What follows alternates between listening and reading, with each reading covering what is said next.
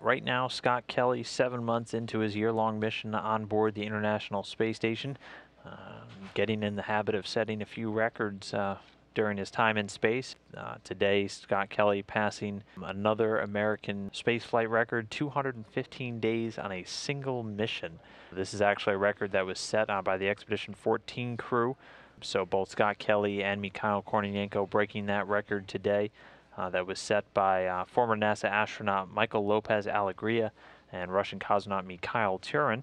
Uh, my colleague Rob Navias was able to catch up with Lopez Alegria from Washington, D.C., where he currently works as an independent consultant. So, why don't we take a look?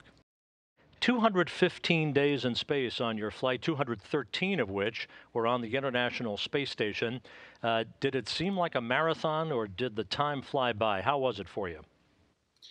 You know, surprisingly, it went by quickly. I uh, had flown three short duration missions on the shuttle before that, and I was a little uh, anxious about how it would be to have such a long flight afterward. Um, but the time really went by quickly, and I think it's just the feeling of being part of a team and doing something that was important that obviously is there during a shuttle flight that really never went away on the station flight. So it, uh, it went by very fast. Well, as they say, records are made to be broken. Uh, Scott Kelly has uh, whizzed by your 215 day mark. Uh, what are we learning from these milestones that will be very important for NASA and for the future of human spaceflight?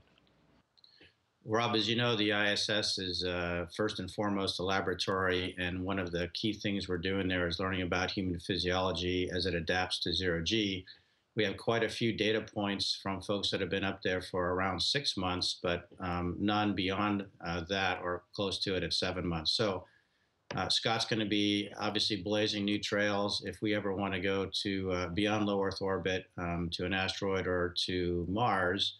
It's going to be important to understand what the longer term, longer than six month effects are. Also, there's the additional bonus that he's got his twin brother on the ground, Mark, which is a really interesting uh, possibility to investigate things too. So I think there's a lot of uh, great medical science return from this mission from Scott. Mike, uh, when you were on board uh, some eight years ago, the space station was half the size uh, as it is today, uh, this mammoth city in the sky, if you will. Uh, even for seven months in space, uh, did you ever feel confined? I, I, know you did spacewalks. You were able to stretch your legs, as it were, outside of uh, the station from time to time. But did you feel confined? Uh, did you feel uh, that you were missing something that you needed up there?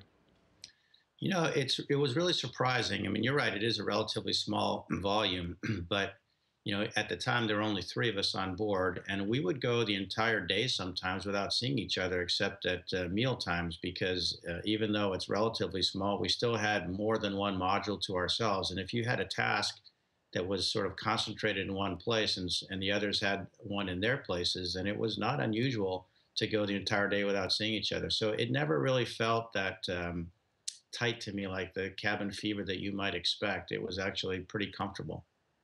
You know, the day is coming in the not too distant future when uh, astronauts will be pressing much further out of low Earth orbit uh, to explore the stars and walk on Mars.